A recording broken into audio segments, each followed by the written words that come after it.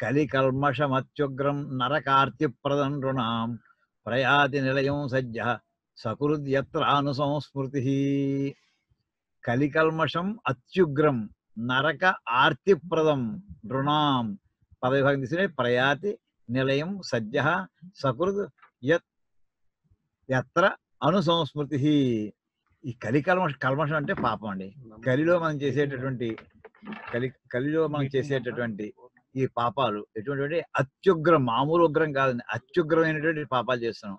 వాటి వల్ల ఏమొస్తుందంటే నరకం వస్తుంది ఆర్తిప్రదం మనకి సమస్యలకి కేంద్రం అవుతుంది. ఆర్తుల్ని ఇస్తూ ఉంటుంది సమస్యల్ని ఇస్తూ ఉంటుంది. రుణ మనుషులకి. ఏమిటిది? మనం చేసేటువంటి కలికల్మషం. ఎత్ర అనుసంస్మృతి ప్రయా ఆ మొత్తం ఆ పాపాలన్నీ కూడా ఒక్కసారి ఆయన్ని స్మరించినా కానీ సకృత్. ఎత్ర అనుసంస్మృతి ఎత్ర ఎక్కడైతే అనుసంస్మృతి అనుసరించి స్మరణ చేసుకుంటామో ఎవరిని? పరమాత్మని.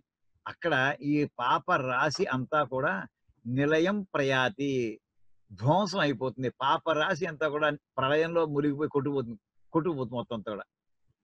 ఎప్పుడే చాలా సద్య అప్పటికప్పుడు ప్రయాతి నిలయం సద్య సకృతి ఎత్ర అనుసంస్మృతి అంటే ఎక్కడో ఉన్న వాక్యానికి ఎక్కడి నుంచి పట్టుకొస్తారో చూడండి శం- శంకరాచార్యులు వారు సకృతి ఒక్కసారైనా సరే అలా అనుసంస్మృతి అను అంటే అనుసరించి అంటే భావాన్ని మనసుని పరమాత్మ మీద లగ్నం చేసి ఎవరైతే అనుసరించి నోటితోటి ఒక్కసారి పలుకుతాడో స్మరణ చేస్తాడో మనసుతోటి వాడిని నేను వాడి యొక్క పాపాలన్నీ కూడా తీసేస్తాను తర్వాత సకు మళ్ళీ ఘోర సకృత స్మృతోపి గోవిందో నృణాం జన్మ శతైః కృతం పాపరాశిం దహత్యాసు తోలరాశిమివానల మళ్ళీ సకృతి వాడుతున్నారండి సకృత్ స్మృతోపి గోవింద.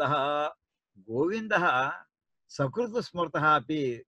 శ్రీ మహావిష్ణువు ఎప్పుడో ఒక్కసారి స్మరించబడినా గాని అటువంటి ఎటువంటి ఏం చేస్తాటైనా రుణం మనుషుల యొక్క జన్మ శతైకృతం వందలాది జన్మలలో చేసినటువంటి పాపరాశిం. పాపాల యొక్క సమూహాన్ని అంటే ఒక జన్మలో పాపం కాదు. జన్మ జన్మల నుంచి అలా పాపాలు చేస్తూనే ఉన్నాడు మనిషి. ఇలాంటి పాపాలను కూడా పెద్ద పువ్వు ఏర్పడని కూడా పెద్ద గొట్ట ఏర్పడింది ఈ పాపాలు ఇటువంటి ఇన్ని పాపాలను కూడా ఒక్కసారి కనుక వాడు సకృత స్మృత పరమాత్మ కనుక ఒక్కసారి స్మరించబడితే దహతి ఆశు తోలరాశిం ఇవ అనలహ. ఒక తోలరాశి అంటే మన దూది పెట్టినటువంటి పెద్ద బేళ్ళు అనుకోండి.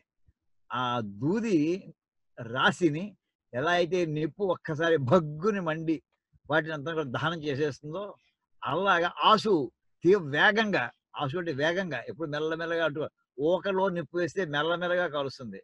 అదే మనకి పెట్రోల్లో పోసిన ఇవాళైతే లేకపోతే దూదిలో వేసినా అది క్షణకాలంలో భక్- భస్మం చేసేస్తుంది.